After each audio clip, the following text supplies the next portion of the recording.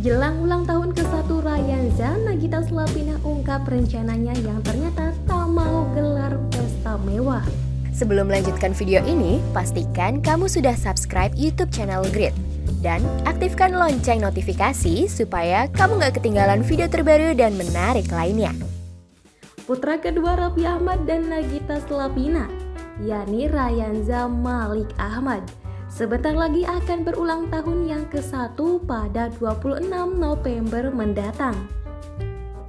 Ya, bayi yang kerap disapa Cipung itu tak terasa sebentar lagi akan menginjak usia satu tahun.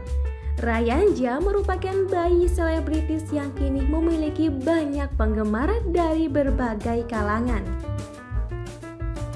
Menjelang hari ulang tahun Rayanza, Nagita Slavina telah merencanakan sesuatu untuk momen berharga tik dari Rafathar tersebut.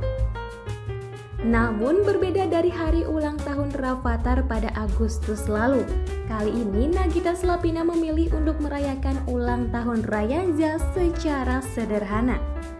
Sebagai keluarga yang dijuluki Sultan Andara, tentu hal ini terasa cukup aneh. Mengingat Nagita dan Rafiq gemar membuat pesta heboh untuk perayaan momen-momen spesial. Kendati demikian, Nagita merasa bahwa ulang tahun pertama Cipung tak perlu dirayakan dengan terlalu heboh karena sang anak belum memiliki teman dan tak mengerti arti ulang tahun. Sehingga Nagita hanya akan mengadakan jamuan makan untuk saudara dan keluarga dekatnya saja. Perayaannya pun hanya bertempat di kediamannya, yakni di Andara Residen.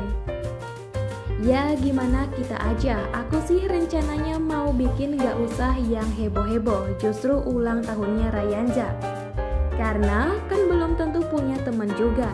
Jadinya kemungkinan dirayain aja sama sekeluarga aja di rumah.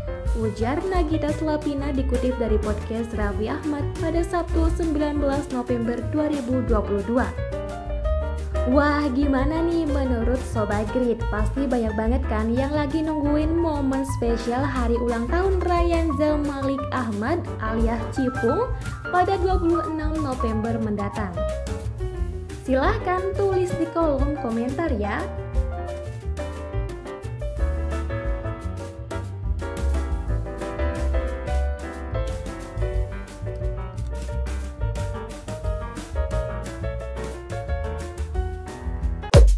Terima kasih sudah menonton video ini. Jangan lupa subscribe dan aktifkan lonceng notifikasi supaya kamu gak ketinggalan video terbaru dari Grid.